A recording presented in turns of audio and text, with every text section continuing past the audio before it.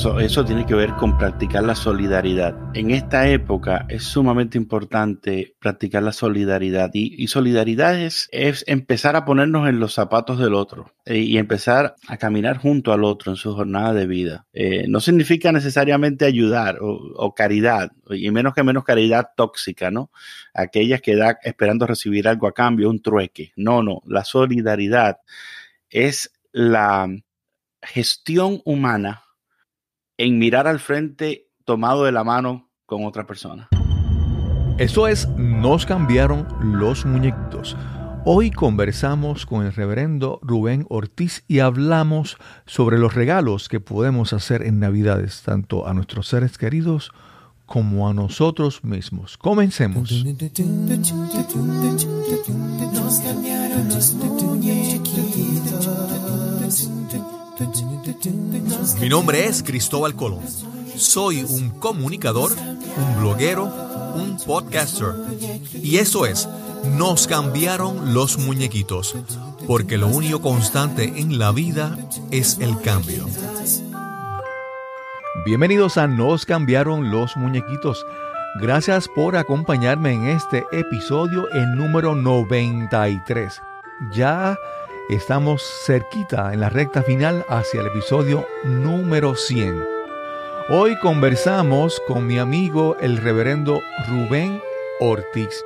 En un episodio anterior, en el 82 y en el 83, conversamos con Lizaira Hernández sobre los regalos que podemos hacer a nuestros seres queridos sin que eso nos afecte el presupuesto. Hoy conversamos con Rubén sobre esos regalos especiales, profundos, que podemos hacer a nuestros seres queridos, a nuestros amigos y compañeros y a nosotros mismos, sin que nos cueste un solo centavo.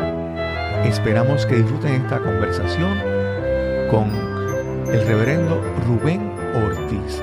Y de paso, feliz Navidad. Voy a repetir un invitado que fue ocurrió hace poco, fue lo entrevisté en septiembre, pero fue una conversación tan excelente, tan profunda y enriquecedora.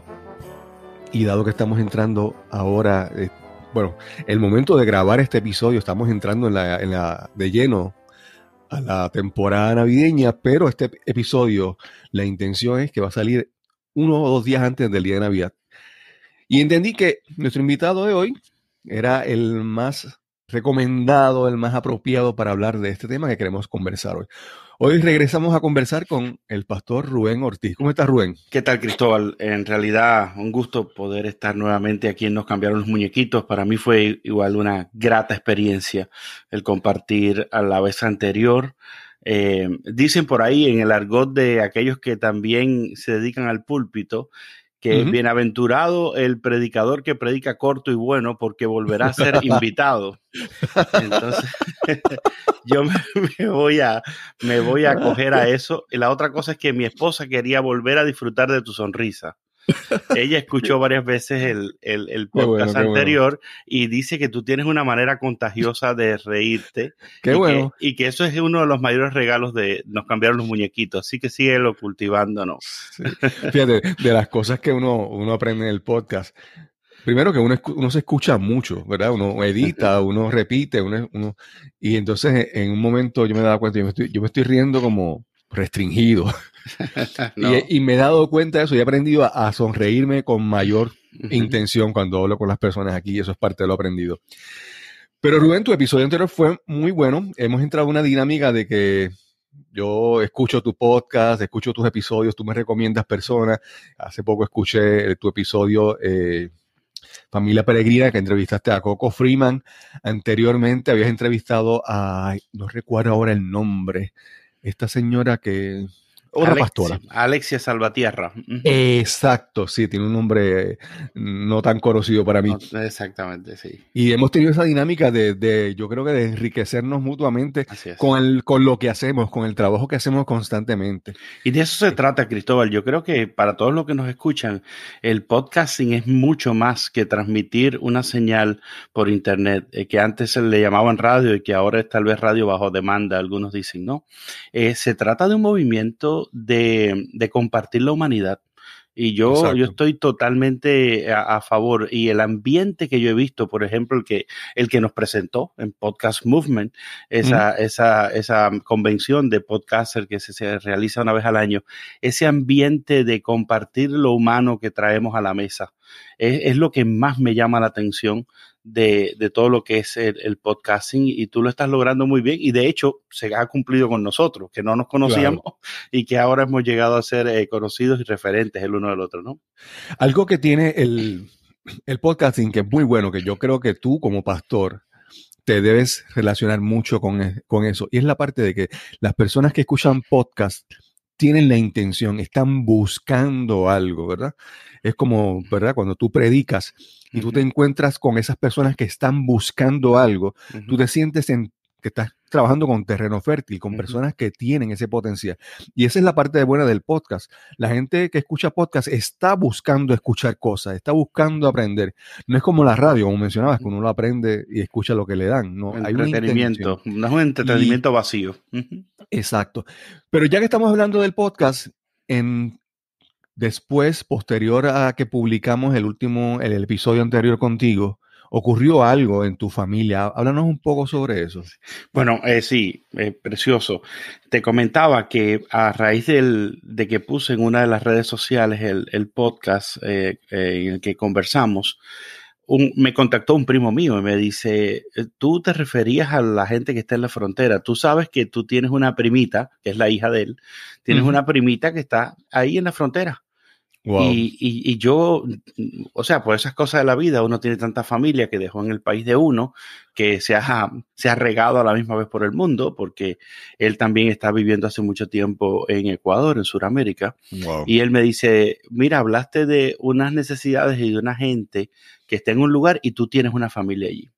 Y lo interesante del caso es que yo había estado, he estado y visito a menudo eh, la zona, había estado en la misma iglesia unas semanas antes, donde ella ahora ha sido hospedada durante unos meses, ya acaba de salir de esa iglesia, está en un hospedaje, incluso está pidiendo la, la residencia en, la, eh, en, México y demás con, su, con, su, esposo, o sea, sus papeles y sus trámites están, y ella está segura, porque a raíz del podcast y, y, y la conversación que tuve con el primo, le contacté a ella y tenemos una conversación fluida ahí en, en otra de las de, de estas eh, eh, aplicaciones que hay. y, y, fue, nos cambiaron los muñequitos, quien eh, me hizo a mí salir no solamente del ambiente de trabajo, que para mí, no, tú sabes que no es trabajo, es, mi vida. cuando uno se entrega a esto hablamos del llamado sobre eso, pues me, me, di cuenta que yo lo tenía en la misma familia, en la misma casa, y, y fue lindo. Gracias una vez más, eh, como te escribí en el correo electrónico, gracias por conectarme incluso con mi propia familia. Que, estaba este, despistado, ¿no? A veces dicen por ahí que uno se ocupa tanto de la obra que se olvida del Señor de la obra y también se olvida de los señores de la obra, ¿verdad? que somos nosotros. Sí, Hay, hay, veces que cuando, pues, para, mí, por ejemplo, mucha gente lo puede ver y dice, estos son casualidades, o alguna gente le llama causalidades, pero tú en el ámbito en que te mueves, ¿verdad? Siendo pastor, tú entiendes bien claro todas estas cosas como ocurren, ¿verdad? Ver la, la, pues, la mano de Dios trabajando, ¿verdad? Para, para bienestar. Rubén, en un episodio anterior yo conversé con una, una amiga, Lisandra Hernández, y hablábamos sobre, sobre la parte del la Navidad, los regalos y el presupuesto y como mucha gente termina endeudados, deprimidos al, pasar la temporada porque gastaron tanto más allá de sus, de sus capacidades y entonces pues la, Navidad se convierte en una, en una tortura para ellos, ¿verdad? Un problema. Y una de las cosas que también hablamos en ese episodio era de cómo muchas veces podemos regalar cosas que no tienen que ver nada con dinero. Por ejemplo, yo le mencioné a, a, Lizaira en aquel episodio que, por ejemplo, yo regalé a, recuerdo haber regalado a, mis hijos los juguetes estos Nerf, que son, que disparan como unos dardos de, de, de foam, de espuma plástica. Pero yo hacía ese regalo y era la parte, para mí era bien importante sentarnos, no sentarnos, ponernos a jugar el día de Navidad y todos los días después con, con los juguetes. Y es, y para mí, yo siempre, yo desde mi punto de vista, esos momentos de yo jugar con ellos, correr por toda la casa, brincar por encima de los muebles, como uno regresar a la niñez. Ese tiempo para mí era realmente, yo creo que es parte valiosa de ese regalo, ¿verdad? Y eh, quise conversar contigo hoy para hablar sobre eso. ¿Qué, ¿Qué regalos nosotros podemos hacer a nuestros familiares, a nuestros seres queridos, a nuestros amigos, pero también muchas veces hasta a nosotros mismos que no tienen que ver nada con dinero, que incluso son las cosas que cuando el tiempo se acabe, pasemos a otra vida, son las experiencias vividas que se van con nosotros. Vamos a hablar un poco sobre eso. Sí, yo estoy totalmente de acuerdo contigo que es más, yo, yo creo que hace falta una nueva una nueva espiritualidad para esta temporada. Necesitamos vivir en una nueva espiritualidad. Por años se ha venido diciendo que, que, tenemos que cambiar y es continuo, ¿verdad? O sea, ya uno lo escucha como el, el, contramensaje de la Navidad. Navidad no es solamente regalos, pero no sé si lo hemos entendido. me parece que, me parece que estamos todavía en la primera fase de repetirlo hasta ver si un día no lo creemos, ¿no? El ser humano es un poco así, ¿no? Porque Estados Unidos, y estoy hablando de la realidad donde vivo acá, gasta cerca de 600 mil millones, o sea, 600 billones, 600 mil millones de dólares durante esta temporada navideña. Y, y, en gran parte eso que se gasta no tiene una utilidad posterior.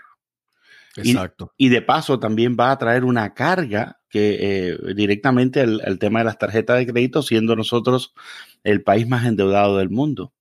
Así que eh, ya de por sí hay un diagnóstico de una enfermedad que nosotros necesitamos tratar y que tiene que ver con algo interior, no tiene que ver con lo material, tiene que ver con algo interior. Así que... cuando hablas de esa nueva espiritualidad, quiero poner el contexto de, de qué está ocurriendo hoy. Hoy es viernes 29, durante el día de la grabación, es el, día famoso día del Viernes Negro, el Black Friday. y nosotros ambos escogimos quedarnos en este lugar tranquilo. Así es. Para crear este contenido que esperamos sea regalo para todas las personas que lo escuchen y salirnos de esa vorágine que si uno pasa cerca de un centro comercial o una tienda, uno, uno se, impacta porque es tan grande, ¿verdad? El, el bullizo y el problema. Y yo creo que eso es bien importante, tener esa nueva espiritualidad, esa nueva visión de lo que queremos. y, muchas veces esa, esa nueva visión que nosotros podemos aplicar, buscar de la Navidad nos puede ayudar a nosotros, pero también puede ayudar a las próximas generaciones cuando nosotros enseñamos a nuestros hijos, a nuestros niños, a cómo celebrar la Navidad. Vamos a cambiar su forma de ver esto en el futuro, ¿verdad?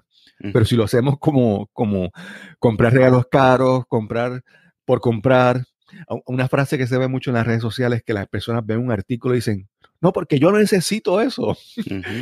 se, se vuelto, no es que yo quiero, ahora el, verbo que utilizan es que yo necesito y se vuelve como un, cliché. La, compra compulsiva.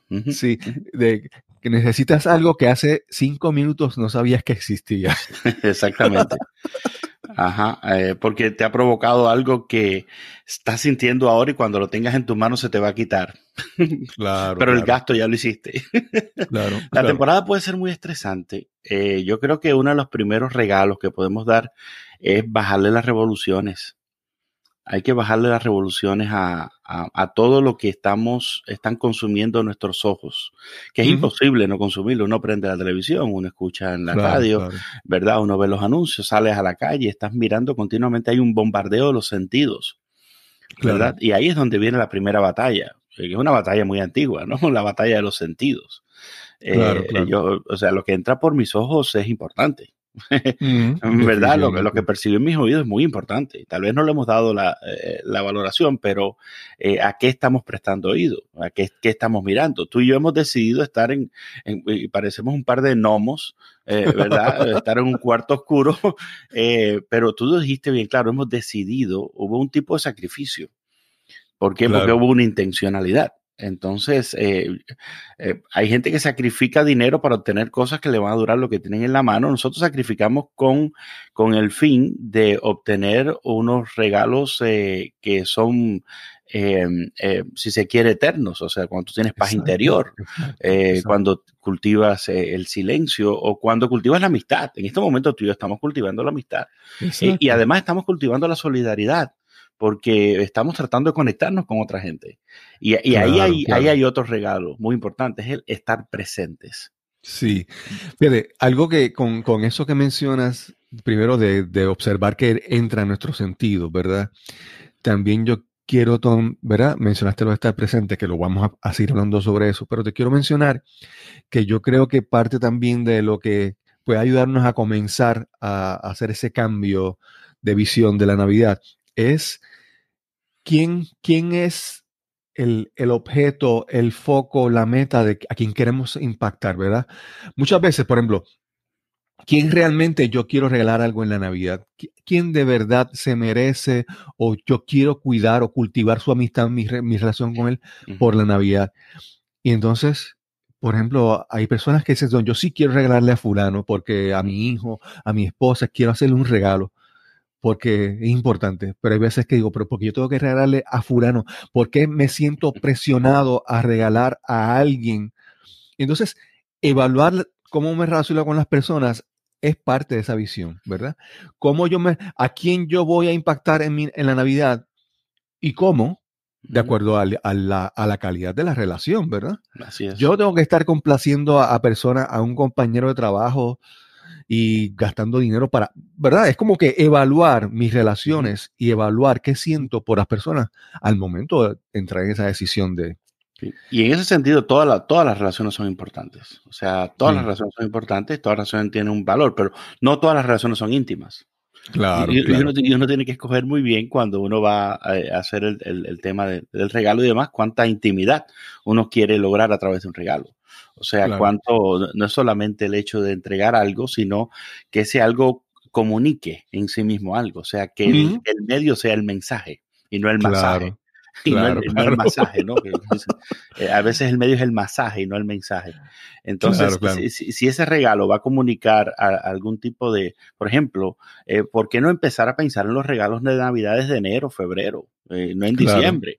Y eso, es un tema, o sea, empezar a, ah, mira, me dijo en tal conversación tal cosa, que quería leer tal libro.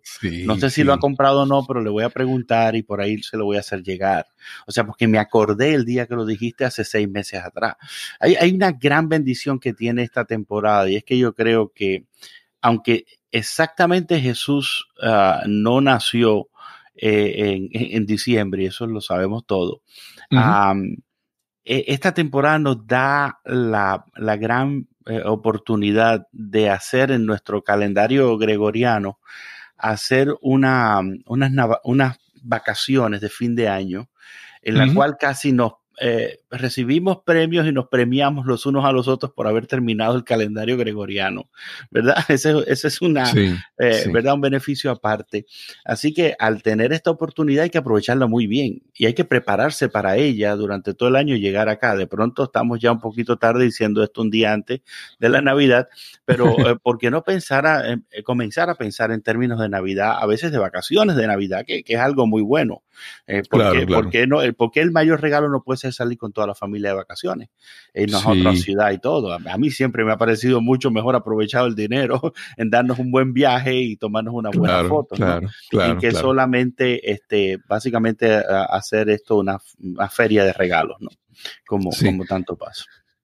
Con esto de los regalos, yo creo que hay que saber, yo creo que, el, que, el, que un regalo tiene varias dimensiones, varios aspectos que, que uno tiene que tomar en cuenta por ejemplo, un, regalo, cuando uno regala un objeto material, tiene un costo, un valor monetario, eso es parte, pero también implica, y eso tú como pastor y estando en la religión, también hay un significado, hay un simbolismo, ¿verdad? Hay veces que, por ejemplo, tú regalas flores y las flores tienen un símbolo, ¿verdad?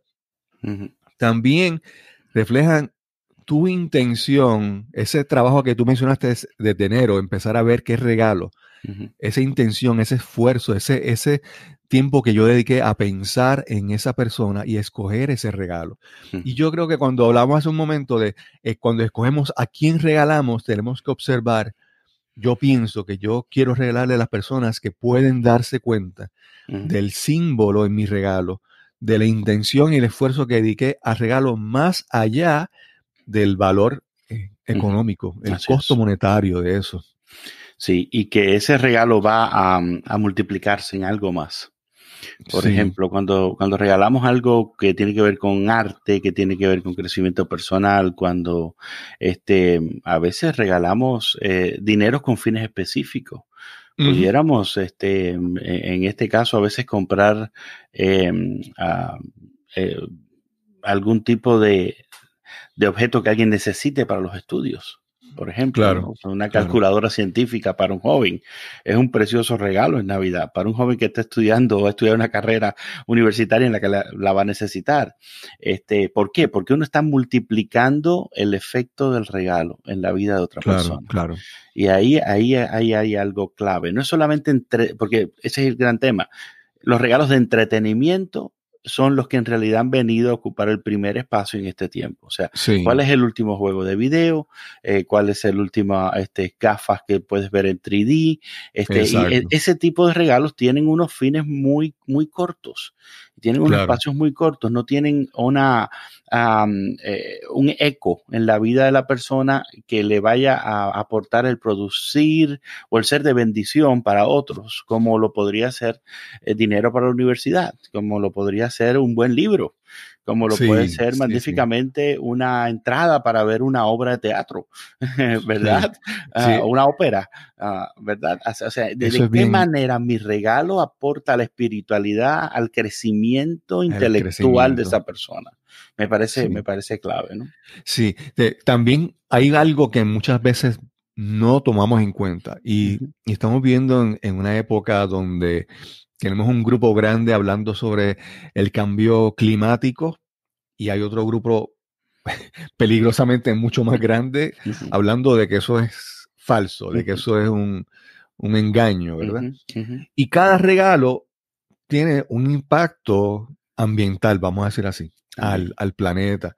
Hay veces que cuando mencionaste que compramos un equipo electrónico para que una persona después ni lo mire ni lo use, cuando el, impacto de crear ese producto que tú pagaste solamente y simplemente lo ves como cuánto te costó pagarlo, pero no ves el impacto que eso tiene al planeta, para después no lo uses o, lo, lo, descartes, lo botes en tres meses, esa forma también está afectando a largo plazo a, nuestra, a nosotros, nuestra vida y a las generaciones que siguen. Así es. ¿verdad? Eso es, hay que tener mucho. Pero sin embargo, cuando mencionaste, cuando regalas una experiencia, ¿verdad? Hablaste de, ir al cine, al teatro o, vacaciones, o cuando regalas cosas que se quedan dentro de ti, un libro que es más sustentable no puede ser, que es creado con papel. Cuando, cuando escoges esas cosas nuevamente, reflejas tu intención cuando mm. regalas. Gracias por mencionar, eh, Cristóbal, el tema del cambio climático. Yo es algo que yo eh, me he dado cuenta que necesito crecer y aprender mucho más. Y he estado escuchando y he estado preparando, de hecho, en nuestra organización acabamos de crear una red, ah, así como está la red latina, ahora hay una red sobre el medio ambiente en la cual yo estoy involucrado desde el principio. Dije, anótenme, yo quiero estar ahí, yo quiero hacer cosas porque eh, eh, no sé por qué, si es tu caso o, lo has vivido igual, yo no sé por qué nosotros latinos vivimos tan ajenos a eso.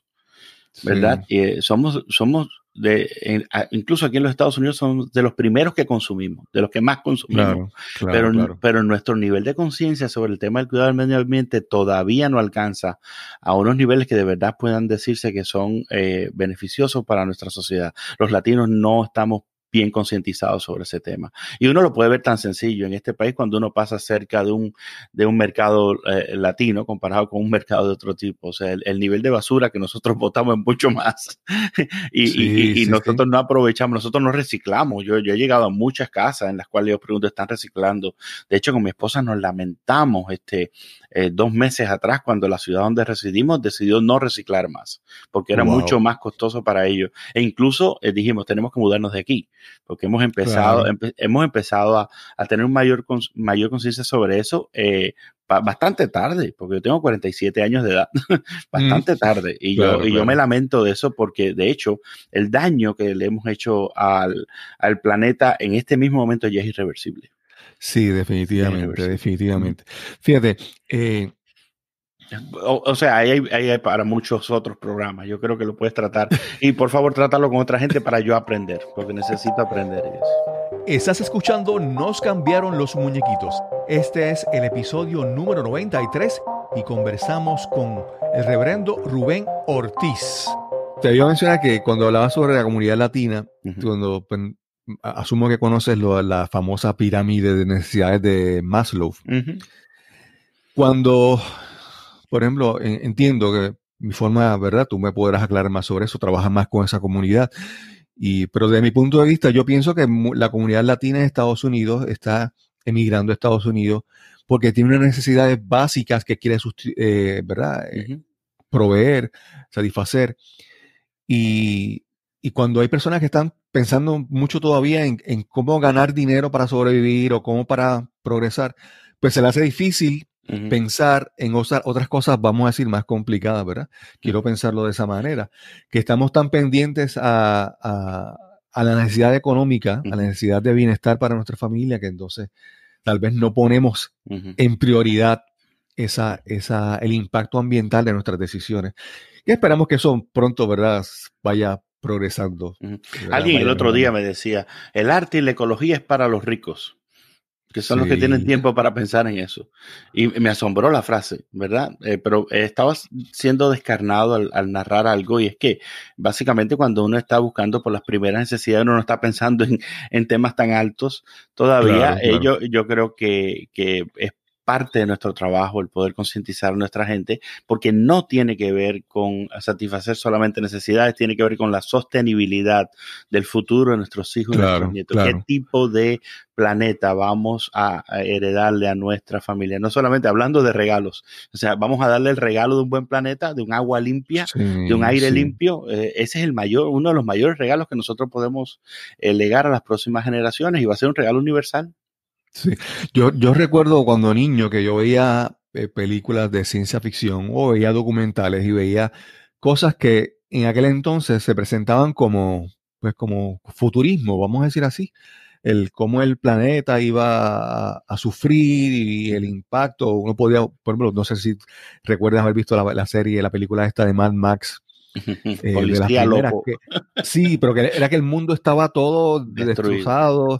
Y entonces uno veía todo eso como ciencia ficción, como que el impacto, pero de repente con el paso de los años, tú te das cuenta que lo que para ti era ficción cuando niño es, ya es real y en otros casos ya es probable que ocurra pronto, Yo he ido, yo he ido a barrios que son así. Yo me he visto en los sets de esa película sin haberse filmado ahí. Eh, cuando uno va a un gran basurero en Lima, eh, cuando uno va a, a, ciertas eh, zonas de, de Sudamérica, uno, uno parece que está en un barrio de ese tipo, en una set de películas de Mad Max. Wow. Rubén, entonces, hablamos hace un momento sobre los regalos que podemos hacer a otras personas, pero ahora caímos en, en, el impacto de nuestros regalos. Y yo creo que que creo que estamos llegando al punto donde tenemos que pensar qué yo me debo regalar mm. para yo hacer que el mundo sea mejor para mí, para mis hijos, para el prójimo. ¿Qué, yo tengo que pensar en mí, que yo tengo que regalarme en esta Navidad y en todo el año para ser mejor ciudadano, para ser mejor ser humano, para ser mejor cristiano, para ser mejor, punto. ¿Qué, ¿Qué te parece, Cristóbal, si nos ubicamos en una en una fiesta de temporada. Eh, se ha preparado, nos citaron para tal lado, a tal hora debemos de estar allí. ¿Cómo debería ir yo preparado? ¿Y, qué debería pasar para que ese sea un buen tiempo de familia y de verdad de, digamos, celebración, conmemoración navideña? Yo creo que en primer lugar estar presentes. Eh, yo lo mencioné ahorita un poquito, ¿no? hay un dicho que me gusta mucho que dice, si tú no eres parte de la mesa, tú vas a ser parte del menú. yo, lo uso mucho a veces en conversaciones con mis eh, colegas anglos a, la hora de incluirme yo mismo, ¿no? Eh, déjame decir esto, porque si yo no soy parte de la mesa, yo soy parte del menú. Pero nos puede pasar lo mismo en una fiesta de temporada. Estamos tan ocupados y hay, hay, que ser intencionales. Un regalo que usted puede traer a una fiesta sin tener que comprar nada es apagar su celular. Sí, definitivamente. ¿Por qué después que usted se dio cuenta que ya llegó el que iba a llegar y que ya llamó a quien tenía que llamar y lo puede hacer antes y después, ¿por qué no apaga el celular y disfrute de la persona que tiene enfrente? Para eso usted fue allí. Sí, sí. Eso, con eso que menciona de estar presente pasa que estamos muchas, muchas veces preocupados de cómo proyectamos lo que estamos viviendo y pensamos menos en cómo lo estamos viviendo. Estamos pensando en que estamos en la fiesta de la familia y estamos pendientes de cuál va a ser la mejor foto para Instagram. Te cuento algo. Tengo tantos amigos. Yo, yo no he tenido, mira tú que yo trabajo en, lo que trabajo y, y tengo mi, mi, experiencia de espiritualidad. Yo no he tenido la oportunidad de ir a Israel, a, Jerusalén. Eh, ya tampoco quiero. Ok. Y ya tampoco, tengo que hacerte una confesión, ya tampoco quiero. Porque tantos compañeros, amigos míos han ido y van continuamente y ponen todas las fotos que ya yo fui. Entonces, ellos han trasladado todas sus experiencias a fotos.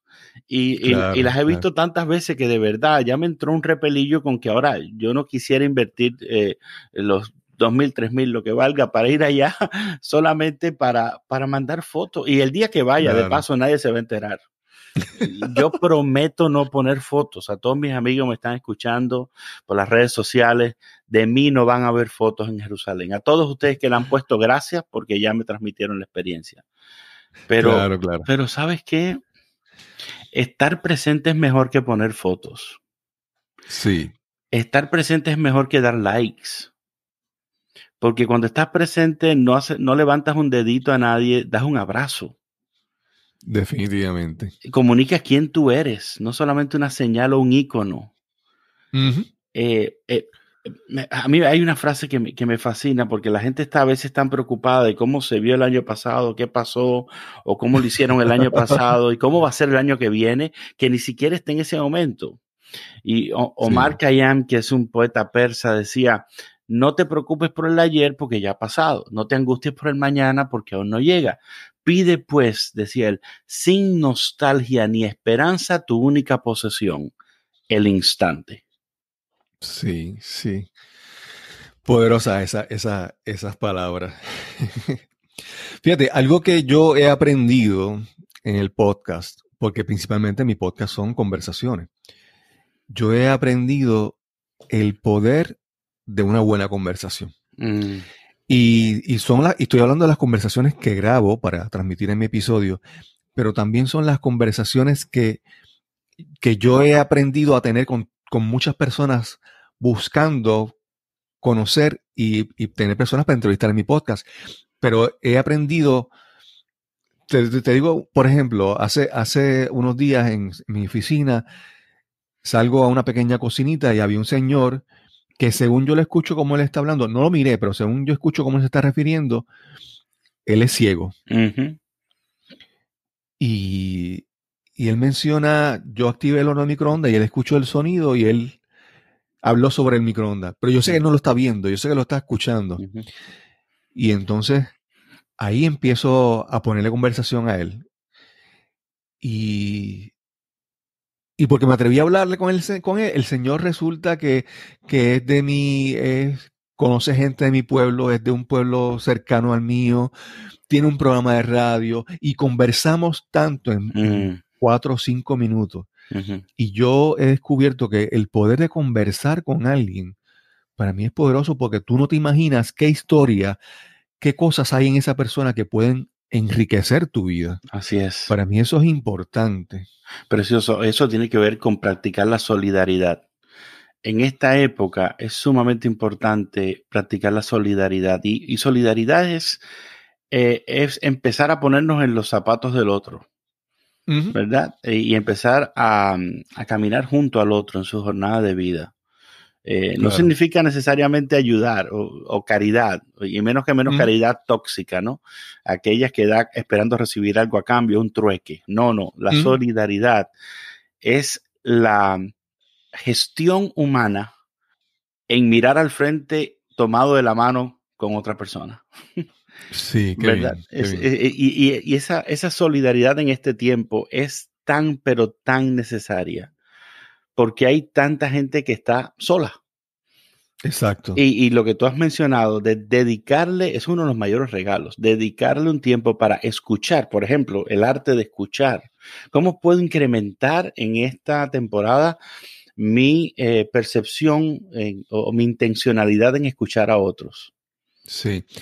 Algo que yo aprendí hace muchos años en un libro de Dale Carnegie, él hablaba eh, o por lo menos yo lo recuerdo, lo interpreto así, y es que todas las personas tienen un tema que cuando tú le pones ese tema, ese tema es lo que les causa pasión y empiezan a hablar. Así es. Hay personas que son muy calladas, tú le hablas y no te, no te responden, pero hay personas que tú te acercas y le pones un tema, por ejemplo, le puedes preguntar sobre su familia, sobre sus hijos. Algunas personas cuando le eh, comienzan a hablar de sus hijos, cambian su personalidad, empiezan a brillar y, descubriste cuál es el tema que esa persona le cambia el día. Y si, la persona, y si la persona es de tercera edad, los nietos. Tú tocas los nietos y te ganaste el cielo. y eso tiene que ver con otros regalos más. Así que hablamos de practicar la solidaridad. Ah, hablamos también de incluir a otros, ¿verdad? A otros y otras que no son parte de nuestro círculo uh, común. Por ejemplo, en las fiestas, cuando uno llega ahora, nos volvemos a ubicar, nos volvemos a ubicar en, el tema de la fiesta que conversamos ahorita. Eh, ahí uno llega a una fiesta y si la fiesta es grande, grupitos. Y uno se va a dar cuenta al mirar así, al hacer un, paneo completo de la fiesta, se va a dar cuenta que hay gente que está aislada. El ser intencionales en acercarnos a ellos, ya bien sean jóvenes de otra generación, ya bien sean personas que pertenecen a otro tipo de comunidades, eh, ¿verdad? A veces son comunidades marginadas y lo encontramos con personas que son de la comunidad LGBTQ, e, etcétera, este, que, que, son personas que no encajan esas personas que normalmente no encajan o no los hemos hecho encajar en nuestros círculos, ¿verdad? Pero están ahí porque son familia y en la familia latina incluimos a todos, eso sí es bueno de nosotros. Y bueno, ¿por qué no acercarnos a esa persona? ¿Por qué no tratar de conocer? A ver, eh, es un regalo que yo me quisiera dar en, esta, en estas navidades. ¿Por qué no tratar de conocer la realidad de una persona que no es mi realidad? Como, sí, sí. O sea, ¿por qué no, no saber cómo es la vida de una persona transgénero, por ejemplo, en esta época? ¿Verdad? Escuchamos las noticias de que tienen de los más altos índices de violencia en, toda América Latina, las personas que más han sido asesinadas, que han sido, eh, ¿verdad?, violentadas. ¿Por qué no acercarnos a una persona así y escuchar su historia sin juzgar? ¿verdad? Sin juzgar, o sea, escuche, por favor, no, no empiece a dar consejos. esta, esta, temporada no es para caerles con predicaciones a la gente en la cabeza. Este, recordemos, Navidad es encuentro no es discurso, Navidad no es lavado de cerebro, Navidad es encuentro.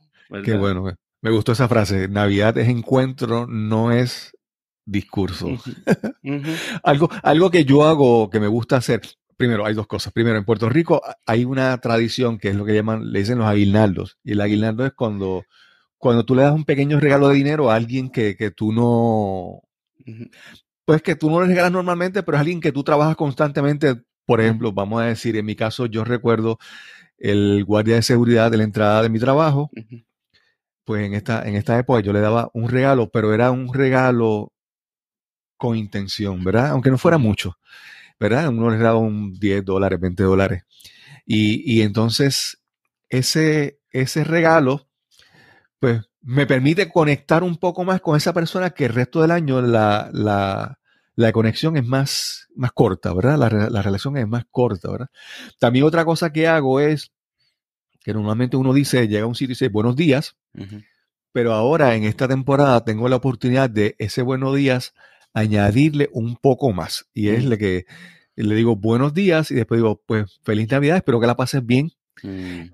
Y esas cuatro, cinco, seis, diez palabras que yo añado es un pequeño regalo. A veces son el inicio de una conversación, pero otras veces son simplemente cinco segundos adicionales que le dediqué a esa persona, el, que me atiende en una tienda, el que me despacha la gasolina en la estación de gasolina.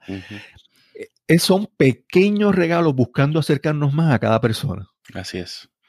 los pequeños grandes regalos porque de esas pequeñas conversaciones a veces de ascensor han nacido grandes amistades. Hay gente que se conoce por ahí hasta se casan entre ellos y con familia. Todo comienza con una pequeña frase y el, el, mayor regalo es el de encontrarnos con el otro. Ah, siempre, siempre va a ser. Y Navidad es encuentro. Una de las cosas que más yo busco en mi vida, que más disfruto, son esos pequeños encuentros. Por ejemplo, hace, hace unos días fui a un, a un sitio, iba a celebrar con mi esposa, qué sé yo, el aniversario, y fuimos a desayunar a, un sitio, a un restaurante, a un lugar. Y es un sitio que es muy concurrido y tuve que, había valet parking, estacionamiento, ¿verdad? Que te ayudan, tú dejas tu vehículo. Y cuando terminamos, empiezo a hablar con el muchacho que estaciona los vehículos. Resulta que el muchacho es de mi barrio, eh, no de mi barrio, de mi pueblo. Que el dueño del restaurante eh, la dueña, su papá es de mi pueblo y le dio a su hija ese negocio y la ayudó, a crear su... Y en cinco minutos conocí tanta historia simplemente porque quise conversar un poco más, hablar un poco más. Y entonces eso me demuestra esos, esos encuentros. Dices, wow, estamos más conectados de lo que yo pensaría. Así es. También nuestra cultura está en riesgo, yo pienso, Cristóbal, cuando nosotros no hemos privilegiado la manera en cómo nos llegó todo el conocimiento que fue a través de una forma oral. Eh, hay, una parte de nuestra cultura que está en riesgo. Eh, yo valoro mucho las, y tú también, las tecnologías. De hecho, por eso estamos aquí conversando, por el tema de las tecnologías. Pero sacar la cara de la pantalla y empezar a conversar con el otro nos va a aportar lo que nos está faltando. Eh, yo creo que la humanidad ha hecho como esos golpes de péndulos. Nos fuimos tanto al otro lado tecnológico y es tiempo de empezar a recuperar la oralidad nuevamente la manera de comunicarnos y el, reconstruir historias, la narrativa de nuestras historias, que son las que en realidad nos hacen volver a, vivir espacios, a recordar y agradecer. Sí, eso que tú mencionas de las historias, a mí siempre me, me apasiona, ¿verdad? Porque yo vengo de un pueblo pequeño, mi familia era pobre, yo en mi casa no había televisión y las noches nos pasábamos sentados en el balcón de la casa conversando. Y había un vecino que se llamaba Don Críspulo, tenía sobre 80 años. Y Don Críspulo era el, storyteller, era el que contaba las cosas. Contaba historias, contaba muchas cosas. Y, y esa era parte del, del, ¿verdad? Escuchar sus historias. Pero hay algo importante en eso, que es lo que quiero a donde voy. Es que cuando en nuestra cultura, eso, esas personas que son los narradores, los cuentistas, los que comparten la historia de, la comunidad, son personas que, tienen, que tenían originalmente una, un standing, una confianza, una reputación que tú querías escuchar sus historias, tú querías y confiabas en lo que él te decía. Porque en el barrio también se, se regaba, decía, pues no, fulano cuenta cosas, pero fulano es un, embustero o inventa las cosas. Pero las personas que contaban y eran las fuentes confiables de información, de historias, de cultura, ese, e, era como que su reputación, ¿verdad? Los, acompañaba y los precedía. Y estamos viendo unos tiempos donde eso se pone en duda. Ahora no es tan solamente lo que escuchamos, las historias que nos cuentan, tenemos que constantemente evaluar esa persona que me está contando esto realmente, Así es. ¿verdad? Y, es que vemos que eh, en realidad, Cristóbal, nuestro auténtico yo ah, depende en gran parte de lo que hemos hecho con los momentos de libertad eh, que hemos tenido y con la libertad con la que hemos vivido. y, eh, eh, o sea, y esa, ese tema auténtico yo, la autenticidad del yo, hoy en día es, es, un, es algo que necesitamos, es algo que tenemos que, que, lograr como, como humanidad eh, recuperar. Eh, ¿Quiénes somos? Eh, y es una pregunta que tiene que hacerse todo el mundo. Es una, es una gran pregunta de paso de Navidad. ¿Quién soy yo? ¿Quién soy yo? ¿Cómo, no solamente cómo, cómo se proyecta este, e, esta imagen hacia otros, sino quién soy yo auténticamente. Por eso la Navidad también es un buen tiempo para la reflexión personal. Que de hecho, eh, sucede que la Navidad también es el gran reto para personas que viven en depresión. De hecho, esta época aumenta la cantidad, ha aumentado la, cantidad de suicidios. Eh, en todo el mundo, producto de que mucha gente está ocupada de cosas hacia afuera y muy poca gente está hacia adentro. Y aquellos que están reflexionando o están viviendo dolores lo viven solo porque todo el mundo anda en su propia pantalla, ¿no? Ah, así que el auténtico yo que tú decías, o sea, aquel que hace las historias, aquel a quien le creemos, aquel que nos narra la, vida o nos, nos da una cosmovisión del mundo que está a, nuestro alrededor, busquemos a esas personas, quiénes son esos contadores de historias y, conversemos con ellos, aprendamos de ellos o convirtámonos en uno de ellos. Claro. Sí, yo nuevamente de esa frase la voy a seguir usando en la parte de que la Navidad es más encuentro y menos discurso, ¿verdad? y ese encuentro es encuentro aún con nosotros mismos. Es con buscar quiénes somos. Es, es tratar de evaluar si esa historia que yo cuento, si ese discurso que tú dices, realmente refleja quién soy yo. Si soy auténtico en mis palabras, si soy auténtico en mis intenciones. en, en, tanto tiempo, en este tiempo de fake news y redes sociales donde la gente parece que viven felices, pero no, no, es más importante quién soy yo, que yo me encuentre a mí mismo, que a lo que yo diga que yo soy. Así es. Eh, hay un, maestro de la espiritualidad y un patriarca de la iglesia ah, de siglos que dijo, la gloria de Dios es un ser humano que sea auténticamente vivo que esté auténticamente vivo. o sea, que sea auténticamente ese yo. E, eso es la gloria de Dios. O sea, a veces buscamos de verdad y vemos esos cánticos que nos quieren reflejar un cielo que no vemos, eh, pero, pero que sí, eh, pero que está dentro de nosotros y que no hemos descubierto. ¿verdad? Y esa eh, Navidad es eso, por eso decimos los cristianos que Cristo vuelve a nacer cada vez que una persona se reencuentra con su propósito divino y se reencuentra con su llamado, ¿verdad? Y se reencuentra con su auténtico yo, porque fue creado para eso fue creado para encontrarse consigo mismo y para reconocer su, eh, la, divinidad dentro de sí mismo. Sí, el asunto es que cuando alguien no sabe quién es, cuando tú no sabes quién es tu auténtico yo, tú pensando, pensando como en, en, ¿verdad? En conceptos puramente religiosos, ¿verdad? Yo, yo, yo me crié católico y fui muy activo, fue, fui monaguillo y fui, pues durante toda mi juventud fui muy activo en la iglesia religiosa, ¿verdad? Pero entonces, si tú no sabes quién tú eres, tú estás abierto a cuantas personas quieren amoldarte, a tentaciones, a gente que quieren manipularte. ¿Verdad? Eh, eh, hay, una, hay, una, frase que yo uso mucho que dice, el que no sabe para dónde va, no, eh, el que no sabe dónde viene, no sabe para dónde va. Y lo que es peor, cualquier camino le sirve. Sí. ¿Verdad? la, vida de cualquier persona me da, me da lo mismo y la puedo imitar porque no sé quién soy. Sí, sí, sí. Hay una canción del, del famoso ex Beatle George Harrison, que de los Beatles era el como, era uno de los más como que espirituales, en su contenido y en sus palabras. Y había una canción que se publicó a él posterior a su muerte, salió publicada, y decía, If you don't know where you're going, Any road will take you there. Si no sabes a dónde vas, cualquier camino te va a llevar ahí. Y la vida es, verdaderamente, es verdaderamente eso, es vida. Es la acumulación de esos momentos en los cuales el yo más profundo mío se va revelando poco a poco, si es que nosotros estamos dispuestos a verlo. Claro. Y eso yo, yo, creo, yo creo que ese yo, para mí, yo pienso que ese es el mayor regalo que tú, te, que tú puedes recibir en tu vida, es descubrir quién tú eres. y porque cuando tú descubres eso, tú descubres también cuál es tu propósito, quién soy y para qué estoy aquí. Ese es el regalo, en inglés dirían, the ultimate gift. El regalo, el regalo más grande que puedes recibir es poder conectarte con, contigo, con, con, tu propósito de vida. Eso, asumo que eh, tendrás muchos ejemplos en la Biblia de, cuando, cuando los profetas descubren para qué están, para qué vinieron. Ese es el regalo más grande, ¿verdad? De hecho, esa es una de las, con propósito. De hecho, una de las más, grandes declaraciones de Jesús. Eh, Jesús continuamente dice que él sabe quién es él.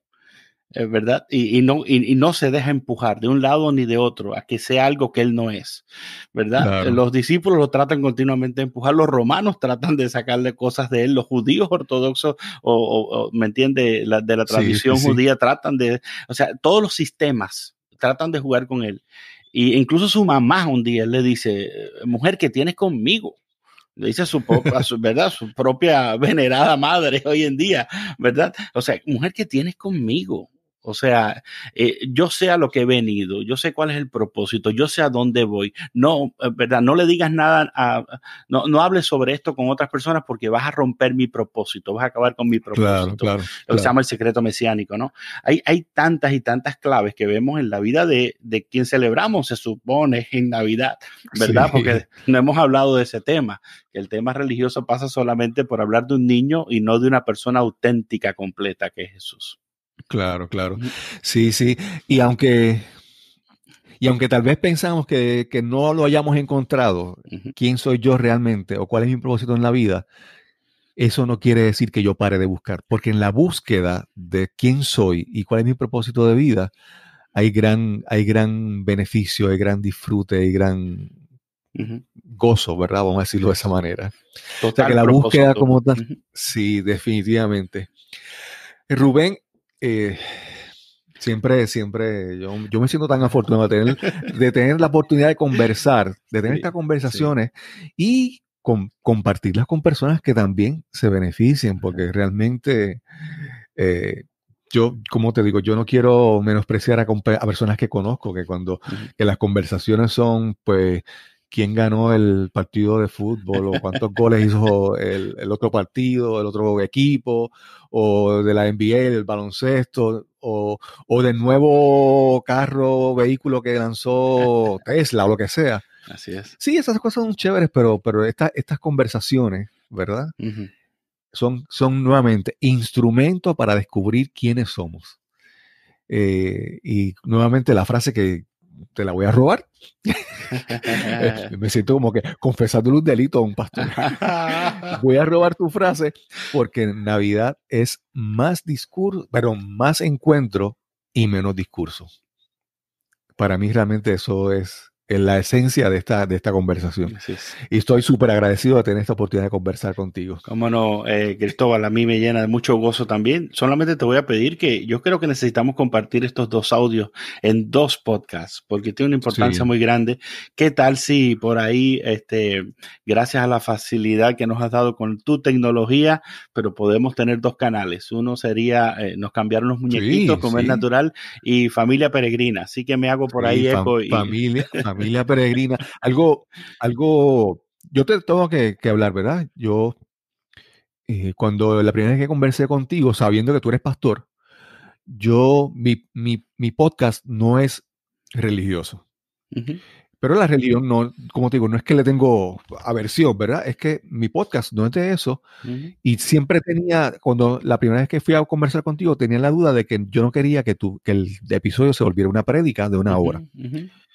Y, pero, pero tú no tienes eh, tu forma de, hablar, tu forma de proyectar, de tocar los temas, no es como, ¿verdad? Es diferente. E incluso tu podcast Familia Peregrina me gusta porque hay tantas cosas más allá de la religión que yo se lo puedo recomendar, yo lo comparto, cada vez que escucho un episodio que me gusta, lo comparto en las redes, y lo comparto para que las personas sepan, tú escuchas este podcast y no es que vas a recibir una prédica por 40 minutos o el tiempo que dure. No es religión, es más allá. Es la vida, es las historias, es una cosa increíble. Por eso cada vez que puedo y escucho uno, lo comparto. Y sí, vamos a hacer esta, esta, yo te voy a compartir los archivos y lo compartes también en tu podcast. Gracias. Que para bien sea.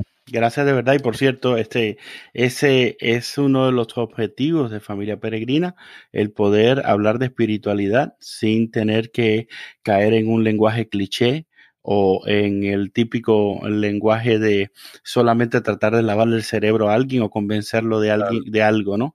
Y, por ahí un poco vamos. Yo creo que somos caminantes en este, en este camino de la, de la vida, de la vida, de la, de la vida en abundancia, que es de lo que se trata.